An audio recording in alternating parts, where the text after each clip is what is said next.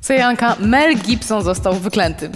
Jak to wyklęty? Nikt nie chce z nim teraz pracować, No ale dlaczego? Przecież to znana postać. bo jest damskim bokserem. Ponoć miał zagrać e, w kolejnej części Cats Vegas, a ekipa filmowa stwierdziła, że nie, oni z nim absolutnie nie będą grać.